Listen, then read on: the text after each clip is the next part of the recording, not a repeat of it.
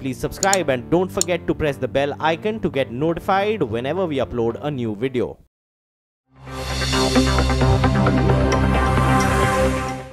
Bus stop of Sector 56 needs attention of authority.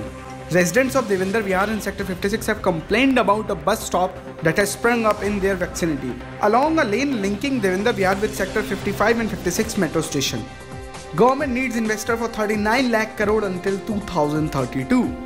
The investors required in urban areas for a 20-year period between 2012 and 13 and 2031 and 32 is estimated to be 39 lakh crore, the government said today.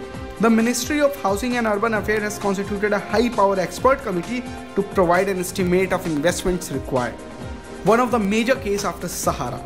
Another case has come up after Sahara in which SEBI asked the certain investors of PACL Group to submit claims for return of money of investors in the company's illegal investment scheme on Tuesday under the order of the court.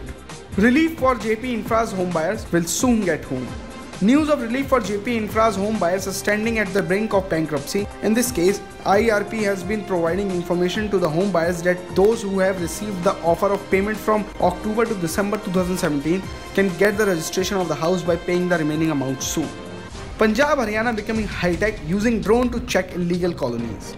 Haryana was first to use drones for checking unauthorized construction in illegal colonies. Now Punjab is also in the list. Chandigarh High Court ordered to use drones for regular checkup. This step is taken to make government properties encroachment free and to regularize land laws.